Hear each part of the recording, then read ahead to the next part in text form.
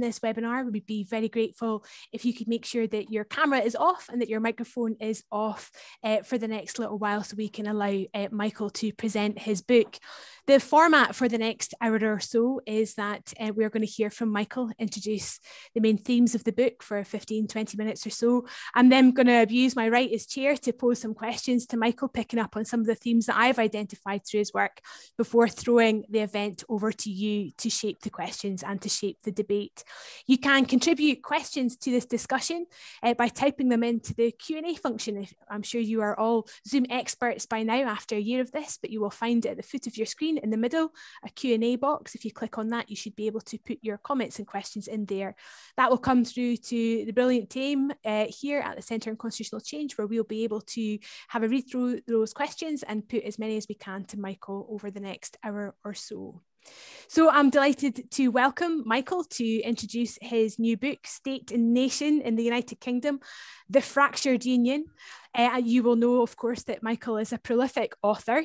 He's written numerous books on nationalism and independence, but he describes this as his first book about the Union, um, which he describes not necessarily as a change of topic, but certainly a, a change of perspective. So, Michael, if I could in invite you to address that perspective for the next 15 or 20 minutes or so, that would be wonderful. Thank you. Uh, thanks, Kate. The United Kingdom is going through one of its regular paroxysms of agonizing about what it is, what is the union, will it stay together, will it fall apart? And in my career, I've been through many of these phases. In fact, they go back to the creation of the Anglo-Scottish Union back in the early uh, 18th century. At the moment, at one moment, the United Kingdom is going to sting together. It's solid. It's a nation. It's a state. Uh, it's indestructible. At the next moment, everybody says it's going to fall apart. And I try in this book to step back a little bit and take a longer term perspective on that, to look at what keeps the union together, why it goes through these periodic phases of reappraisal, and perhaps at the end to speculate upon the chances of its survival, although I'm not going to make any predictions whatsoever on that score. And to try and clarify what we mean by the union, I've looked first of all at unions generally. What, what is a union and what do we mean when we say that the United Kingdom is a union uh, as opposed to a unitary state? Or, or, is it a unitary nation state? What, what is it? And rescuing this concept of unions from neglect, certainly in my own discipline, political science, and to some degree history and law uh, as well. And I identify four key items of a union, two elements by which we can distinguish a union from a nation state and use it as a key to understand the complexities of the state in which we live, the United Kingdom. And the first one, I, I like these Greek uh, alliterations here. So I talk about demos, telos, and, and ethos. The demos is the people. Is there a people? Is there a single people there? We talk about the British people, some people do, or are there multiple nations and multiple peoples within the union? So it's a way of conceiving of the nature of the political community. The second one is what I call telos. Is there a purpose to the union? We talk about this a great deal in the context of the European Union, and I'm going to argue that it has parallels with the United Kingdom. And when we go through these paroxysms of agonizing about the United Kingdom, we ask, what is its purpose? Is, does it have a shared purpose in the past and in the present? The third one is what I call ethos, and that is about common values, to have a a state or a union or a nation, do you have to have common values? Do these values have to be peculiar to your own nation, or can you share values with uh, other nations? And finally, there's the notion of sovereignty, that in a nation state, traditionally there is one locus of sovereignty. It may be the people, conceived of as a unitary people. It may be the monarch in the past. It may be the monarch in parliament, to use the British formula, but it's all in one place. Whereas in a union, sovereignty can be dispersed and discovered and reinvented in all sorts of places. And there are continuing debates about the nature of sovereignty rather than one single point. If we look at it that way, then a nation state has a unity of demos, telos, ethos, and sovereignty, whereas in a nation, all of these things are up to, to play. And in the historical chapter, then I use this as a framework to think about the nature of the United Kingdom. It doesn't follow a single teleology. Uh, we well, people of my generation were brought up on the Whig historians where everything is progress and, and unity. We now know that history doesn't go in straight lines, it comes backwards and forwards and moves sideways. And in the history of the United Kingdom, these things, these themes have, have always been up uh, to play there. Well, if that's the Union or the unions, because of course the union with Ireland and England and the union of uh, England and Scotland and, and Wales's place in that, indeed England's own place in the Union, are all very different. Uh, what is unionism? Uh, is there an ideology? Do we have a national ideology of, of Britain or, or the United Kingdom, to take it a little bit more broadly? And I argue here that yes, there are unionisms, but they're multiple. There's not just one unionism. There are different unions in the different parts of the United Kingdom and different unionisms and that we can see some unionisms are assimilative, like the French Jacobin notion that we must eliminate national differences. There's an element of that in British history of trying to assimilate to a single model uh, on both the left and the right, but rather more on the left than on the right. There's what I call a patriotic unionism, which is the idea that you can be a very patriotic uh, Welshman or Scotswoman uh, but at the same time be British. It's, it's by being British, by being in favor of the Union, you express uh, your national uh, identity. This used to be very common on, on both sides of the Irish Sea and across the United Kingdom. There is a, a conditional unionism, contractual unionism, I call it. That is, we are loyal to the Union on condition that the Union accepts the deal. This was a bargain. So we go back to the Union of 1707 and engage in understanding what the people there were saying. Uh, there are traditions of contractual unionism in Scotland. And people talk about the Declaration of Arbroath. I don't want to go there because these historical uh, interpretations are always contentious, but people go into history and say, this is our understanding of the Union. There were conditions there. We didn't just sign a blank check. And then, of course, there's the Scottish covenant tradition, which comes from Protestantism in the Old Testament is exported over to Northern Ireland, where it becomes a strong element of Ulster unionism. Yes, we're loyal to the union as long as you are loyalty to the bargain there. Uh, that's an important uh, element. Uh, and then there's what I call neo-unionism. Uh, I'm glad to see, report in today's paper, that the term seemed to have caught on, but I invented this about 20 years ago after devolution, as what happens to unionism uh, after devolution. Well, one thing that these unionisms had in common was a belief in parliamentary sovereignty. And this peculiar thing about British unionism was that it was extremely tolerant about the idea of having multiple nations and multiple identities. I work a lot on Spain and the idea that Catalonia can call itself a, a nation preoccupied the constitutional courts for all of four years before it decided you couldn't call yourself a nation. The UK has been very relaxed about those kinds of things, but UK unionism does draw the line at parliamentary sovereignty. That's the thing that holds it all together. In the past, maybe the monarchy served that role, but now it's all about parliamentary sovereignty. And mostly that was taken to preclude home rule or devolved parliaments.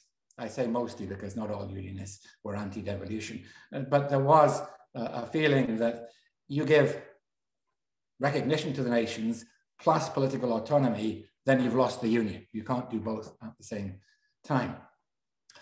Until the very end of the 20th century, when this long running argument about home rule that had been going on for about 130 years or even 150 years was suddenly resolved overnight with devolved legislatures in all three of the smaller territories, uh, but no agreement on what the basis of it was. Uh, and I have a chapter then looking at interpretations of what is devolution all about, because on the one hand, we have the Westminster argument that Westminster is by definition sovereign, can't give its sovereignty away.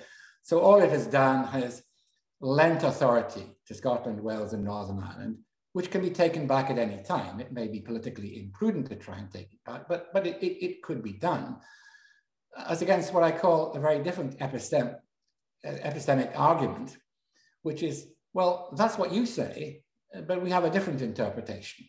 And the counter argument is not a single doctrine, but a whole congeries of different kinds of ways of thinking about the Constitution, starting off with questioning parliamentary sovereignty, which is a, basically a tautology. Parliament is sovereign because by virtue of its sovereign authority, it says it's sovereign. Uh, once you start questioning that, then you've got to look at other sources of authority. Well, there's the Scottish legal tradition that the late Neil MacCormick used to write about. Uh, there's the uh, understandings of devolution is an act of self-determination because there were referendums. There's the Scottish claim of right, which the almost the entire parliamentary Labour Party signed on to and then tried to reinterpret in various ways. There's all sorts of pronouncements by judges, normally obiter dicta, that is not affecting the resolution of the case, saying, well, maybe following devolution and indeed at that time EU membership, we need to rethink that notion of parliamentary sovereignty. And various lectures and academic writings of judges saying, yes, there's very good grounds for thinking that the doctrine of parliamentary sovereignty must be changed and that we have here a plurinational quasi-federal kind of systems. But the Westminster Parliament and the Supreme Court simply don't accept that. It was joined famously in the uh, first Miller case when the Supreme Court said that the legislative consent convention was not binding. Effectively, it was siding with the Westminster interpretation of the Constitution. But I'd rather say that argument is open. The argument about sovereignty is, is, is really quite open.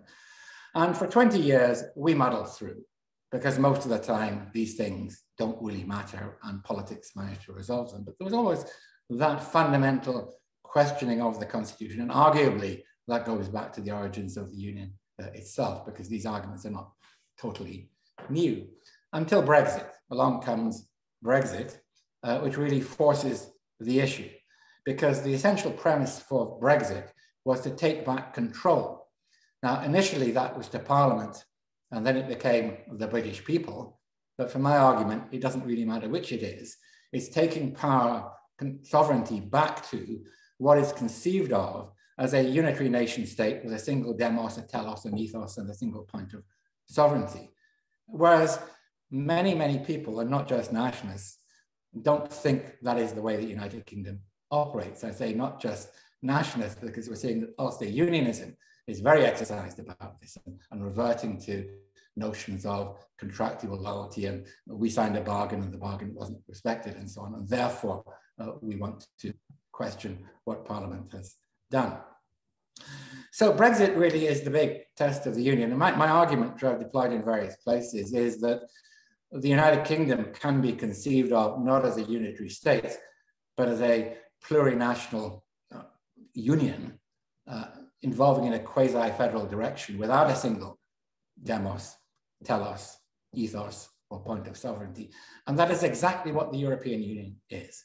So far from being incompatible with the British Constitution, membership of the European Union reflected that understanding of the British Constitution very well. And in all kinds of practical ways, the European Union did provide for a more extensive devolution settlement within the United Kingdom than would otherwise have been possible. So Brexit has provoked this great crisis, but something, something was going to happen. Uh, something was going to challenge those confused understandings of the nature of what devolution was about. But had we remained in the European Union, uh, there wouldn't have been a crisis. We would have continued to muddle through and argue and, and develop, as I think, shared understandings that the Constitution was changing. So what happens as a result of this? Well, unionism then uh, I see as reinventing itself. This challenge was first placed with devolution. Once unionism accepts devolution, what does it do? Uh, it develops a what I call a neo-unionism. Uh, once you accept subordinate legislatures, once you accept legislative devolution, where do you draw the line? Uh, and I argue that unionism has been really quite generous successive Labour and Conservative governments in devolving power or, or competencies, legislative competencies to the smaller nations. But at the same time, it's doubled down on the principle of sovereignty uh, and uh, insisting in an almost exaggerated way, quite a historical way, on the unity of the central Westminster Parliament. And that's what Brexit has done, because Brexit has been met, or the, the response of the smaller nations to Brexit has been met with the argument that we are a unitary state. Uh, I saw that in the government white paper in the summer of last year. I hadn't seen it for a while. we are a unitary state. We are a unitary nation, and everything follows from that. This is a kind of neo-unionism. Uh, and unionism then, having lost its anchoring uh, in the traditional understandings has, and, and faced with challenges from the peripheral nationalisms, has now become a nationalism itself. That is, an insistence that there is a British nation, a British people, rather than multiple peoples that don't need to be defined and nailed down. I got quite, the British people have voted for Brexit, for example. What, what, what does that mean? Just unpick that one for a moment. That there's a single telos, so we're continually thinking, what is the purpose of Britain? What is the purpose of the United Kingdom? As though there was a single purpose. We have these arguments in spades in the European Union all the time. Is it social? Is it economic? Is it diplomatic? Is it military? And, uh, and so on. No, no, we have to nail down these. We'll never agree on that. Uh, and there's a single ethos, that is Britishness, uh, in which the what are universal values of human rights and democracy and so on are appropriated by the Union, and they are Britishness. They're the higher values, and the smaller nations, sure, they can tolerate, they can be tolerated, they have their own traditions and competences and powers and so on, but all the higher values belong at the British level. Now, the problem with the Britishness debate is not that these values are universal, because many national projects are based upon universal values.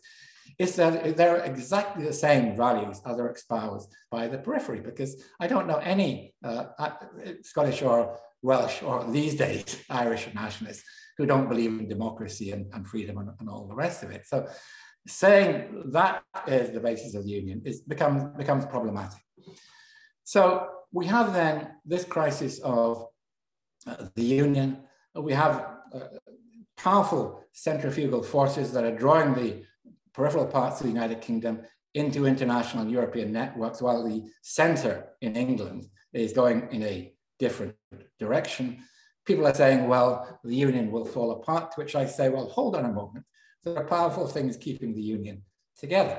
There's a part shared sense of shared history, even in the Republic of Ireland. And I, I speak as an Irish citizen, uh, they, that, that there are powerful notions, as long as you don't call it Britishness, as long as you don't force it on people, as long as you don't have all this flag waving, obligatory Britishness, then the union, it seems to me, can work perfectly well.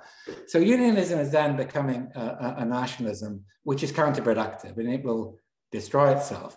And in the meanwhile, the scenario of the United Kingdom falling apart neatly into its components parts, that's not going to happen either. Think about Scottish independence in Europe and what you do about the border. Uh, look at what's happening in Northern Ireland at the moment, uh, where there's no neat, tidy solution. So that's why I get the metaphor of a fracture. I looked this up in a medical textbook. Uh, uh, uh, you could have multiple fractures in one of your bones, but as long as they don't, they're not all in the same place, uh, and they won't all fall apart. So unionism has many, many strands, and it's stayed together for hundreds of years because of these strands. And one strand can weaken and the other strand will take the strain. But if unionism just becomes one thing, when that one strand breaks, the union is finished.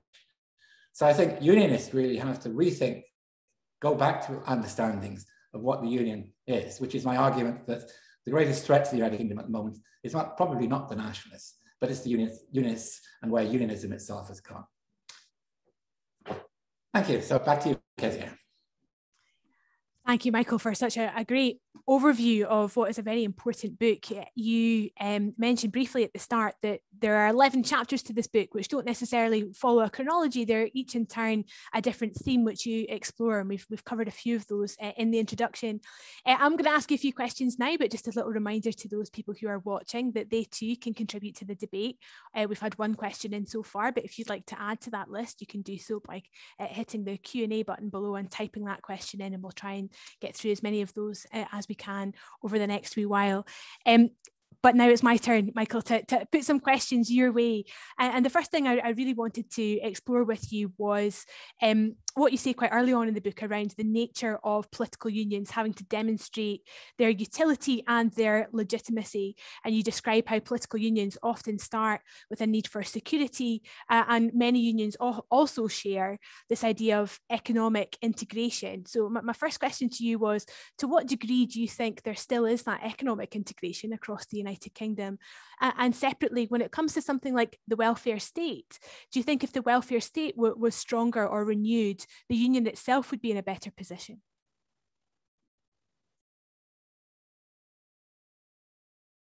Thanks for that, Kate, because there are chapters devoted to each of those themes. In, in some senses, the United Kingdom was an economic union as a result of the unions for its time. In the 18th century and the 19th century, what you meant by an economic union was really a free trade area. In the context of a modern regulated economy, uh, is it? Well, yes, to a high degree it is, but since devolution, there's been a lot of devolution of economic regulatory functions or functions that can have economic implications, but within the European framework. And following Brexit then, to what extent is, is the United Kingdom an economic union? Uh, it lacks two key elements. And one is a regulatory union, which is why the UK government has adopted the UK Internal Market Bill, which is an admission the United Kingdom is not itself an economic union. And the Internal Market Bill has been highly problematic.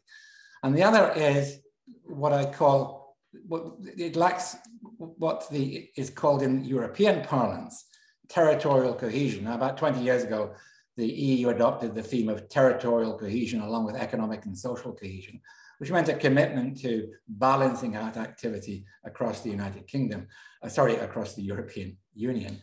The United Kingdom abandoned that goal in the 1980s. Regional policy disappeared. There is no UK-wide regional policy anymore. There's a lot of talk about this leveling up end, uh, agenda. The resources so far seem to be nothing like the commitment that was put into that in the 1960s and 1970s. So we have a unionist government that talks about economic union. It doesn't really do very much about it. As far as social union is concerned, yes, there's a great deal of sharing. The social welfare system is highly redistributive and Scotland, Wales and Northern Ireland are net beneficiaries. Uh, on the other hand, there is no equalization formula. We've got the Barnett formula, but resources are not distributed according to need and never have been. And the Barnett formula doesn't do that, except for a tiny clause to do with Wales. Uh, and the other services, the National Health Service, for example, is, is already uh, devolved. So the idea that the UK is a sharing union, yes, it's true, but don't push it too far. Uh, get it, get, you've got to get that absolutely correct. And in any case, I don't see any evidence that if Scotland and Wales and Northern Ireland separate. Well, let's leave Northern Ireland apart because the Irish have problems with their health service. But if Scotland and Wales went their own ways, I don't think they'd abolish their national health services. I don't think it's the union that, that, that, that provides that. And it would be just as well uh, to admit that. So there are variations. Yes, economic and social union, but I try and examine that, unpick it and ask to what degree is that actually true? Going to move on to a slightly different question in a second, but I just want to pick up from one of the audience questions, which is connected to what we've just been discussing there from Violet. He says, What is the influence of the neoliberal economy on the union? Does it not divide? So, this idea that, you know, austerity itself might be a threat to the union. Indeed, because the high point of the union was probably in the post war years when the UK government assumed responsibility for economic growth, full employment, and eventually territorial balance across the UK. This was also the time of the, of the welfare state. And what happened in the 1980s, well, you had a government that was profoundly nationalistic in a British sense, profoundly committed to the British nation, but dismantling many of the institutions that actually made that real. Now, the welfare state was not dismantled, but it was radically changed from being based upon social citizenship to being a residual system for, for the poor. Uh, and the loss of that notion of social citizenship, I think, does undercut one of the meanings of the union. And one of my favorite anecdotes is uh, seeing Margaret Thatcher uh, putting her handkerchief over the tail fin of a British Airways aircraft because she wanted to put the Union flag back on that uh, aircraft. Uh, she herself had privatized that airline. So, so, how is that in any sense somehow a symbol of, of, of the nation. Uh, once you turn things over to the market, I'm not saying you know, privatization itself is either good or bad, but once you roll things over to the market and bring in international capital, you are undercutting one of the strands of, of the union. And that indeed was done in the 1980s. You touched on this in your, your introduction, but there was one sentence in the book that really stood out to me as making me think, quite a provocative statement. And I hope other people who are watching would, would likewise consider it so. You say unionism has become a nationalism rather than a mode of government. And I don't even know if you know this, Michael, because we've been chatting for the past 20 minutes, but I just happened to have a look at Twitter. And in the last 20 minutes or so, uh, the UK government has announced that it's going to take the Scottish Parliament to, to court over two pieces of legislation which it believes have gone beyond its powers. And that strikes me um, as an example of this muscular unionism that you, you describe as evolving since devolution. I wonder if you could just tell us a little bit more about that idea of neo-unionism uh, and how it's playing out in 2021. So one of those bills was the, the Children's Rights Bill that, that the UK government are now taking the Scottish Parliament to court over. Uh, yes, we could we, we could talk about rights as well. That's that, that that is really interesting because one of the things that's happened since devolution is that rights have been assured mainly through the European Convention, which takes them out of the context of the national context altogether. And I think that was extremely helpful to, to manage devolution, but they're not tied with up with Britishness. And the attempt to incorporate these other international conventions would do the same thing. As far as British nationalism is concerned, of course, there's always been a British nationalism in the external dimension during the wars, during the empire, and so on. Yes, looking outwards, there was a strong sense of being British. But on the inwards, the British national, the notion of a British nation, uh, was combined with a broad recognition that there are other nations as well. Uh, uh, uh, and that we never had anything like the French program of socialization, uh, a unified centralized education system, military service used to build a nation. We had regiments representing Scotland and Wales and Ireland. There was, there was diversity built in in all kinds of ways. So unionism was able to uh, accommodate that. But the argument now that there are British values and a British flag must be put on things like democracy and, and welfare and social cohesion, that's converting it into a nationalism in, in, in its own right, which it never was. And just as a, a, secondary question from Niall Thomas, what does a Goldilocks unionism look like? And his definition is somewhere between a banal and muscular unionism. Is it possible? It's a matter of statecraft. It's not so much an ideology, because it's very difficult to write a lot of this down. But unionism has had its success and it's had its failure. I think it had a disastrous failure in Ireland. We know it didn't work. In Scotland, it was, it was mostly a success, but it accommodated various aspects of Scottish nationality. In the 18th century, it was more important to keep your own religious settlement than your parliament, for example, according to the, the, the dominant political forces within Scotland at, at that time.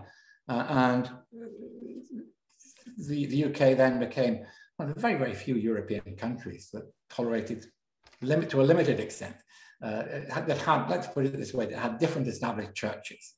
Uh, they, they, were extremely intolerant with regard to Catholicism.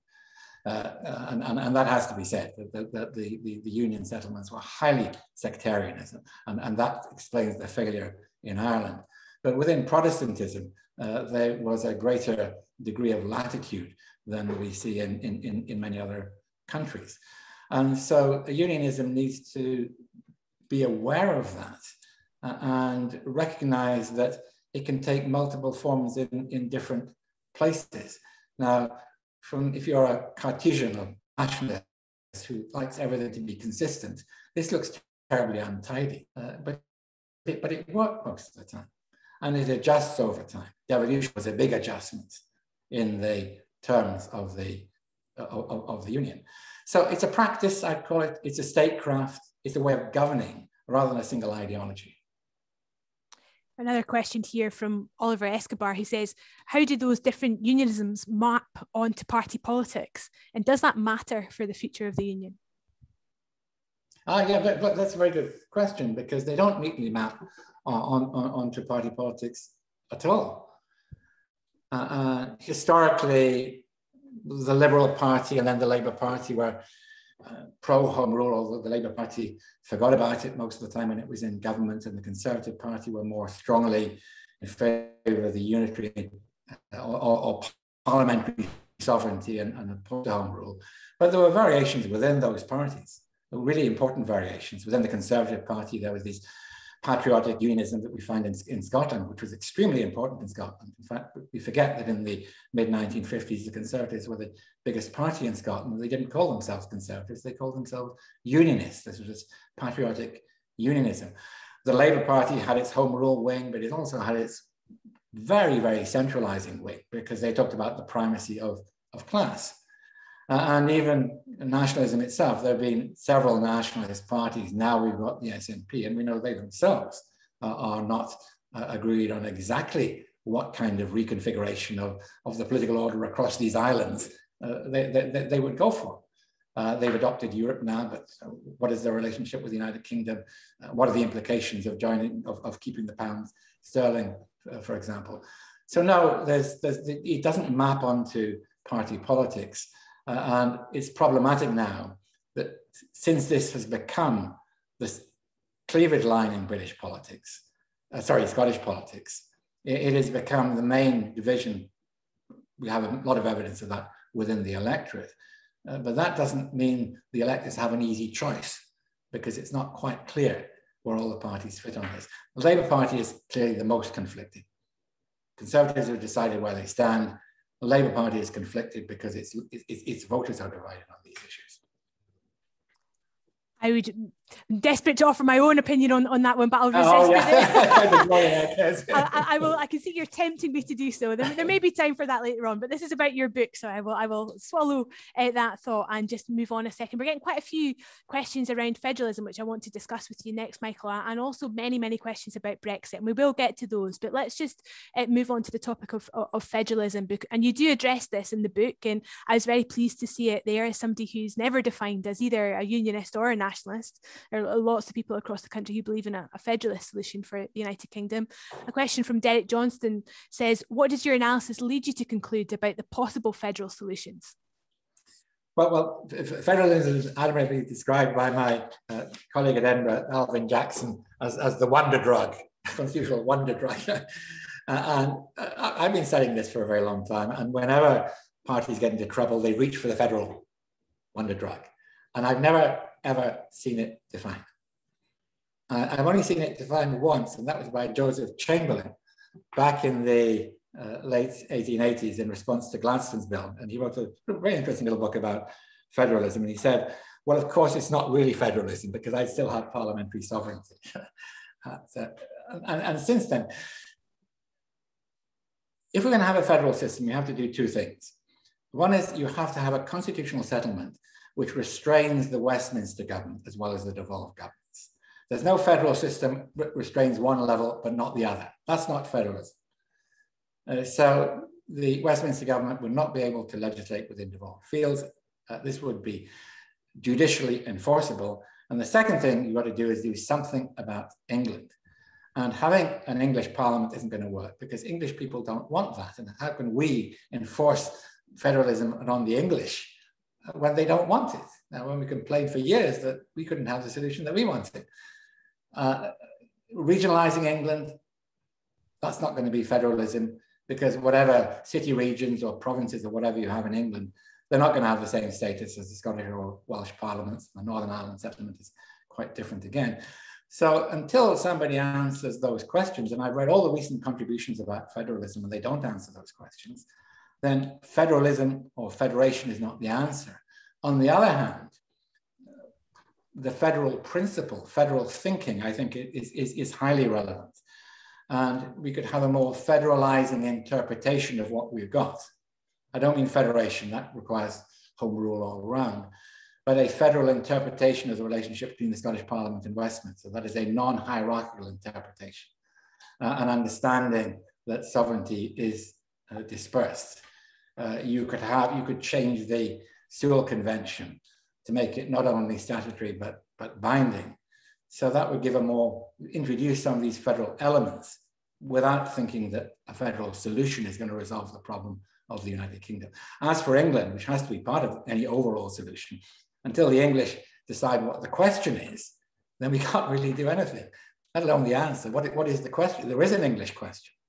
There certainly is, but we don't know quite what it is. Until we can decide what it is, then it's very difficult to think about how we can have uh, an answer. But we're not going to change the whole constitution of the United Kingdom uh, just to solve the problem of Scotland, Wales, and Northern Ireland without England being on board. Yeah, I, I could debate with you whether the uh, problem with federalism is a lack of definition or the fact that there are many definitions, but we'll, resist the temptation to, to do that as well. We've got a follow on question from, from Jim Gallagher um, who says, Michael, I agree with you that it's British or more accurately English nationalism that's the bigger threat to the UK as a union. He disagrees, however, that the UK is not an economic union and he describes that as nonsense, I'm afraid. He says there are huge fiscal transfers, single currency, single labour market. You'll not be surprised to, to see these as the views of, of Jim Gallagher. But he closes with your last remark saying the question is what to do about England. And if I could just challenge you back on, on your last remark there around, you know, no appetite for a, an English Parliament, I think that's that's right, and that's there's evidence for that, but I'm not sure we can assume that there isn't an appetite in England for greater agency, greater voice, and, and greater devolution. In fact, even throughout the last 12 months of the pandemic, we've seen the value and the power and the worth, for example, of mayors uh, across England. You know, Andy Burnham giving the, the Northwest a very strong voice uh, during the uh, initial economic uh, collapse around the, the pandemic. Just wonder if you think there is an answer that increases an appetite for a devolution within England. It's just about the language that we use to talk about it. Uh, yeah, yeah, yeah. Well, it's always good to argue with Jim. So on, on, on, on the first, on, on his first point, what I'm saying is that there are many dimensions to economic union, uh, and the United Kingdom doesn't have all of those. If it did, we wouldn't have the internal market bill. That is a recognition that there is a lack of an internal market once you take the uh, EU framework away. Of course, there, there are labor, there, there, are, there, are many more transactions within the United Kingdom than there are across the borders of the United Kingdom. If you want to conceptualize an economic union that way, uh, yes, there is a single uh, integrated uh, labor market, more or less, not, not more, more, more or less. But there are other elements that are lacking, and, and, and unionism seems to be aware of that, hence the internal market bill, hence this rather incoherent talk about leveling up, which doesn't seem to strike me as a coherent territorial policy, but just as a recognition that there's an increasingly territorialized concern with economic inequalities. Uh, what to do about England? Uh, yes, uh, I agree with you, Kez. There is an English question. We just don't know exactly what it is but, but there's a lot of discontent there. Uh, a lot of things have come into that mix there. Some of the answer to that clearly is decentralization, is Whitehall letting go. That, that, that's clearly a, a desire, wanting to do things themselves. Uh, there's the inefficiency of centralized government. And then there's the notion that England somehow doesn't have a voice because it doesn't have institutions of its own separate from the United Kingdom. And the question is then, how can you get that English voice? How can you give expression to that English voice without going for an English parliament? It would be very difficult to coexist with the uh, Westminster Parliament. And there's a lot of interesting work going on around England. Uh, there's, there's, there's a debate there going on, but it hasn't crystallized in the way the Scottish debate crystallized in the 1990s. Well, so we'll have a devolved parliament. At the time, wide consensus on that. The English debate hasn't got there yet, and then until it does get there, then it's very difficult to see what the policy response should be. Just, just one more question on, on federalism, and then we'll, we'll dive into Brexit. So this comes from Mike Picken and Paisley. I'm going to read the full thing out because it's uh, very, very astute point, I think. The idea of creating a federal UK is being re raised by the Liberal Democrats and elements within Labour as an alternative to the status quo. But as genuine federalism fundamentally challenges the notion of parliamentary sovereignty that lies at the heart of the current state settlement, is federalism actually even more idealistic and actually less realistic than the path to independence for Scotland and the reunification of Ireland, both of which seem to be more likely and at least have clear route maps from the form of the Edinburgh and Good Friday Agreement? So, so, so there's a proposition for you. Federalism would be harder to achieve than independence. Well, yeah, I can, I can, I can see the point. Uh, I, I wouldn't go quite that far necessarily because independence itself would be very complicated and very messy uh, and would not draw boundaries clearly in the, in, in, in the same place. The notion of independence means classically the economic boundary, the social boundary, the political boundary, and so on are all in the same place. It's just very difficult to see that happening for the reasons I explained uh, earlier on. So yeah, the first point that was made by the questioner was federalism means challenging parliamentary sovereignty. It does, it does. And in a way, I think we were getting there because just a few years ago, people were able to say, well, this idea of parliamentary sovereignty, it doesn't really matter because Westminster doesn't really trample on the devolved settlements all the time.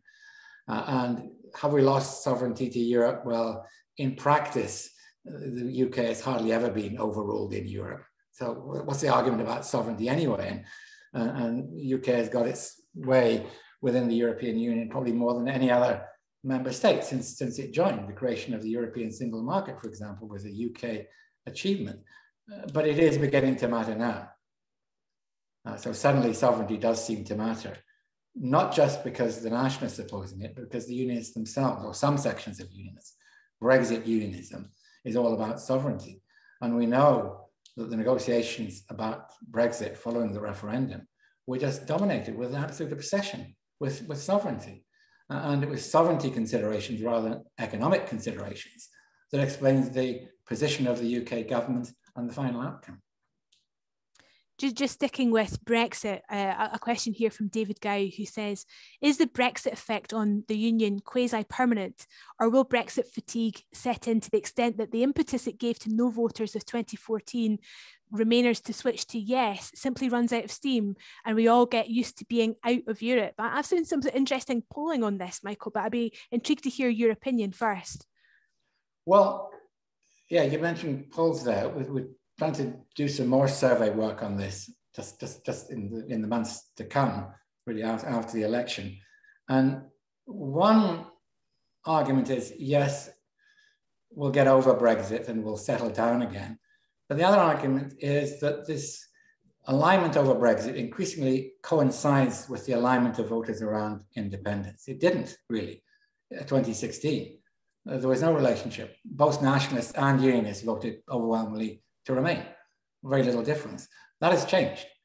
Uh, and we're getting, you see, right across the world now, politics revolving not around the traditional class or economic issues, but around questions of identity. Uh, and that is happening in Scotland. So that alignment of being, feeling 100% Scottish, not British, voting for the pro-independence parties, uh, and uh, supporting European integration that effect is, we're seeing that effect, which suggests that this is a cleavage that's not going to go away again. Europe will remain part of that mix. Now, it all depends on what's going to happen by Scotland with regard to Europe. The UK government has not only taken a rather hard Brexit position, it's also constrained the ability of the Scottish Parliament to remain aligned with European uh, regulations and laws. This is part of the internal market bill. So all sorts of issues are going to come up there. There's the Erasmus exchange scheme. All sorts of things are going to come up where Scotland might say, well, why can't we be part of that? Mm. Why do we have to follow the British line within, within devolved competences and some as well? So no, I, I, I don't see this one going away in, in, in the short term if I were answering that that question from David, I would point him to some recent survey work I've seen by the organisation Together, who've just done a, a, huge survey of UK public opinion, which actually shows attitudes to Brexit fading quite considerably and far faster than attitudes to the constitutional question in Scotland did in, in 2014. But at the same time, the, the reversal of, of that is to look at the, the travel of voters in Scotland from no to yes in the last 22 opinion polls, which show uh, by far and away the, the biggest group of people moving from no to yes are those who were staunchly remain uh, in the last EU, referendum. So you can you can take your mix from your pick from the polls in, in that sense. Uh, another question in here from Kirsty Hughes, who says Brexit, as you say, has had a huge impact. Can the UK easily manage a reversion to multiple identity union if it remains outside the EU and, as the current government is, is actively hostile to European identities and relationships?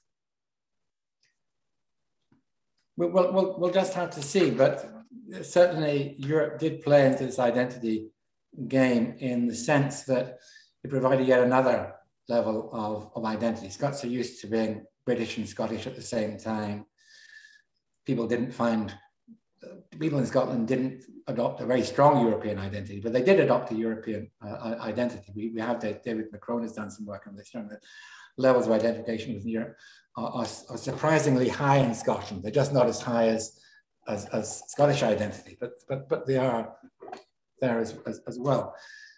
And the effort to put all the identities back into one box and to say, well, there's this Britishness which consumes just about everything uh, is just going against the way that modern society is evolving. I mean, we're not the only country that's trying to do this.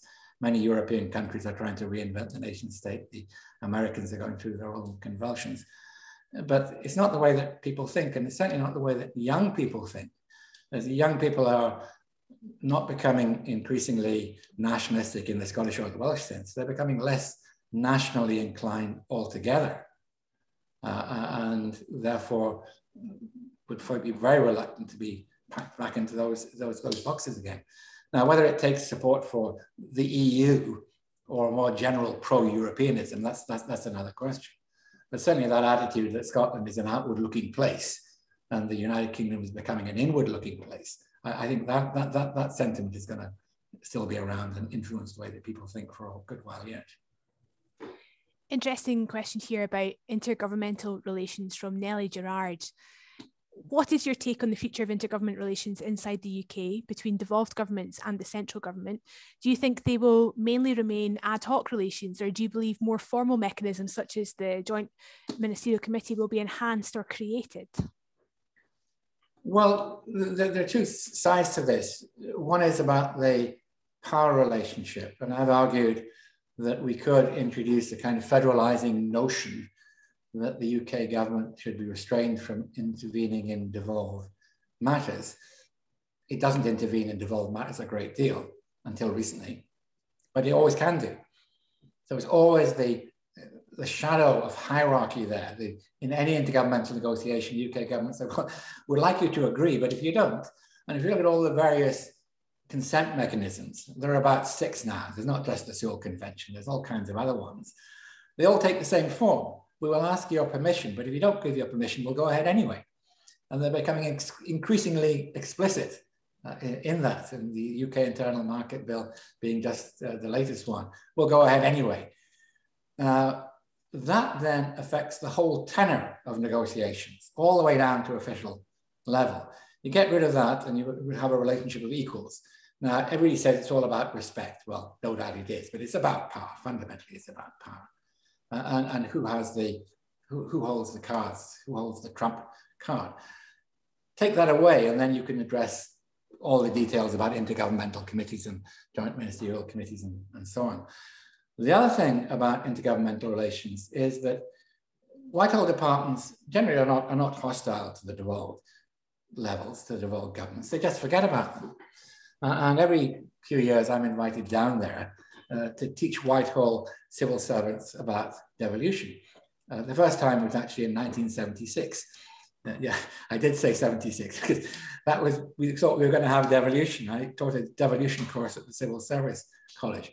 Uh, and last time I went down, they all have these lanyards, devolution in you, and a big mug that they came, gave me to take home. And I said, no, you keep that mug because you're the one needs to be reminded about these things uh, it goes through phases, and maybe that's inevitable. You've got big departments there and relatively small uh, departments in the devolved territories, but it is important just that there, there, should be a greater awareness in Whitehall of this. And the later, the, the Dunlop report and other recent developments suggest once again, Whitehall is trying to resensitize itself to remembering the, the existence and the presence and the importance of, of the devolved governments and devolution as part of the constitution.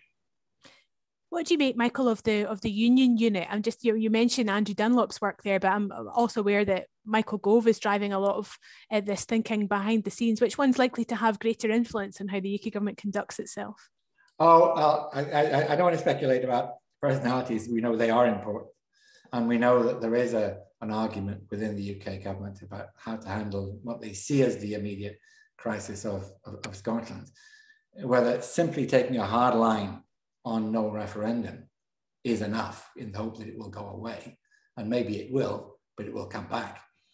Uh, or, or, whether an activist presence of the UK in Scotland is appropriate. City deals, uh, levelling up funds, spending money in Scotland, the Signia Union flag on it. I'm, I'm very skeptical about the, the effects of that. Uh, or devolving to local government, bypassing the Scottish government and so on. These strategies are being played out. They're not new. They, they've all been tried uh, before. In the late 19th century, we had in Ireland killing home rule with kindness, which, which worked for a little while, but in the end, it, it, it didn't work at all. Uh, uh, so there are these, there's this uncertainty, and it's really very interesting for a student of unionism to see the way that unionists at the centre now challenged are feeling they ought to respond because these do reflect different understandings of the union and unionism as, as, as practice.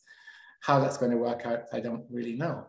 Uh, the UK parties are greatly weakened these days by the fact they don't have a substantial presence in Scotland.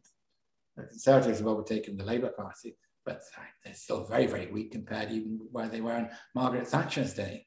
And that does affect their ability to read opinion in Scotland, to read the Scottish situation and know how to, how to respond.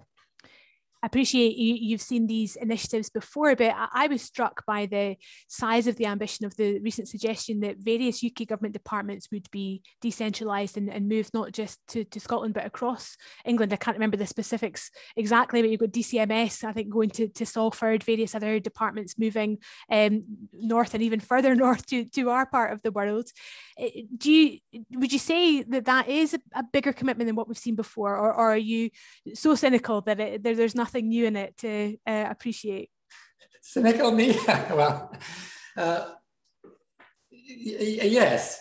Uh, this country is very centralized, not just when it comes to political power, but, but the activity of, of government. And that's partly because we're not federal. If you go to Germany, you find many of these responsibilities are at least administered by, by the Länder, and you get thriving cities right across Germany that maybe, well, in some respects, do rival Berlin, a case in Frankfurt and finances services are, are, are, more important. We don't have that. And so undoubtedly this is positive, dispersing these jobs, so well-paid jobs and, and activities, but it's not dispersing the power if they're still answering to the centre.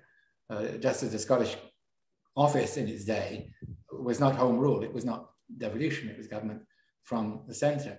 Uh, and to be really cynical, uh, these initiatives have occurred in several European countries. Uh, in Ireland, they were doing it a lot in the 1990s and the 2000s. Somehow, most people seem to manage to make their way back to Dublin again. Um, uh, so it does, it does, require a degree of commitment of the government to do that. But, but, but obviously, this is, this is positive from the point of view of economic development and for, for more effective government to have these jobs dispersed. I mean, that's been one strong theme I've seen in the past few months is this desire um, and we've yet to see whether it bears fruit to, to decentralise out of, of Westminster. But another is really to um, try and talk up the strength of the union. We've got a question here from Professor Nicola McEwen who says the UK government is keen to talk up the strength of the union to confront big challenges like COVID, for example, with furlough, vaccination procurement, etc. How much do you think COVID governance could reinforce the ethos of the union? Or does the current administration's tendency to shout about the strength of the union and wrap it in a union flag paradoxically weaken the union? Um, pro probably the latter, uh, because one of the things that I noticed just walking around Edinburgh where I live are all these union flags uh, and all these COVID health messages saying UK government in Scotland. Why are they doing that? Uh, clearly, it's just, it's, it's, just a little bit of the credit uh, for, for whatever is, is happening there. Uh, and similarly, the, vaccination, uh, the vaccination is, is a joint effort. Uh, COVID management has worked best when it has been jointly managed uh, rather than uh, when there's rivalry and, and, a lack of cooperation. Uh, but if you take credit when things are going well, as they are with the vaccination, and try not to take credit when they weren't going so well as with the earlier lockdowns, and then you discover that uh, you're going to get blamed for things that aren't your fault. You take all the credit, you've got to take all the blame uh, uh, uh, as well. And one reason why governments across the world like to decentralize central governments is that it actually gives them more independence. It's what was called central autonomy. I, I, worked on France in the 1980s, and the French government said, we're going to decentralize to the localities, to the cities and the regions, so that they can take responsibility and don't go knocking on our doors when anything, everything goes wrong. So they could be setting themselves up for real trouble. Uh, and if they're taking credit for all the big decisions, then what is to stop the Scottish government just saying, well, it was their fault. All these things are their fault. So that doesn't, that, that I think is what Nicola is getting at. It does undermine devolution, it does undermine the, the logic of devolution, which is about governments taking responsibility for the things for which they are constitutionally responsible. I think it links neatly back to your earlier point about unionism becoming a nationalism rather than, than a mode of government. Two more questions here, um, which are very specific about how government functions. And then, Michael, I'm going to end with a, a much larger existential question for you, just to, to, get you thinking before everybody goes and has their tea. But the, the first of those very detailed questions comes from Gordon Downey. He says, Will the development of framework agreements help to establish an EU directive style regime which allows for flexibility at a sub union level? It, it could do, uh, uh, as long as they're properly designed. Now, the, the frameworks I, agreements I've, I've, read, the ones that have been published, are, are, really a bit of a dog's breakfast. Some of them are extremely long in detail. Some of them say very little. Uh, there, there's no, seems to be no logic, no coherence uh, to this notion of what a framework is, what should be in it, and how it should be administered. And that's very different from the way that EU, EU law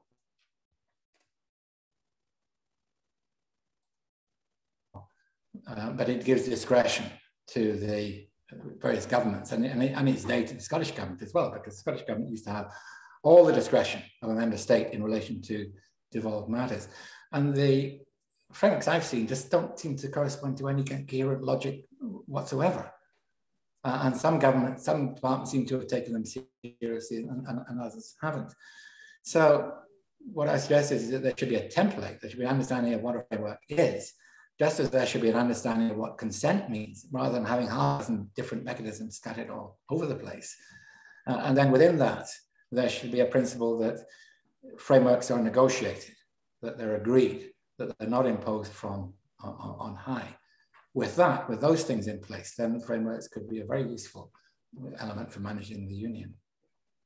Very much a, a, connected question here from Jenny Dunsmore, who says an independent UK trade policy will significantly impact devolved issues, but the internal structures in the UK for Westminster oversight and devolved government's role is very weak.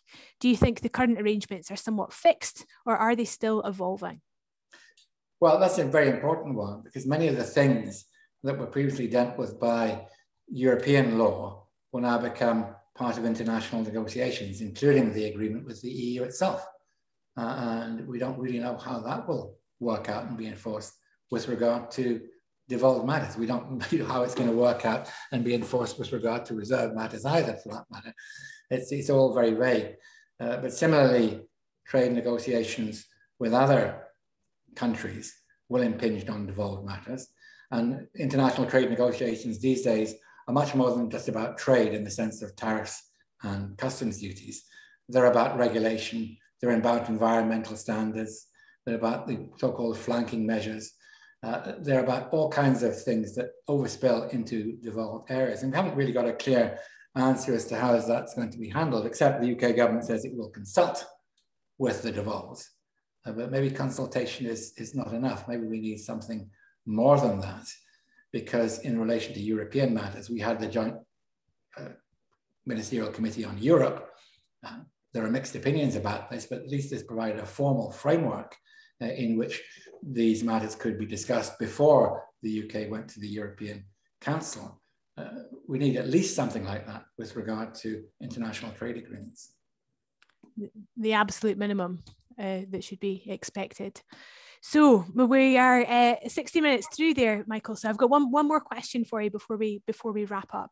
And uh, it's from Violet again. And she says Many economic theories suggest that the future of political influence on government will be transferred to how big business controls the economic structures in any country in the world.